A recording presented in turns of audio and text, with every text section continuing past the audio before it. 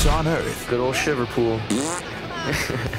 He's the hottest thing around. That was radical. Yeah, man! Somebody help the chicken. Now, Who wants to see the little guy take on the champ? it's not whether you win or lose. That feels good. Hey, went to work on my glutes a little bit. It's how you ride the wave. I'll be watching you. You'll be watching me? Well, yeah, from the lifeguard station. Oh, yeah, no, yeah, It's my, yeah. It's my job. Right.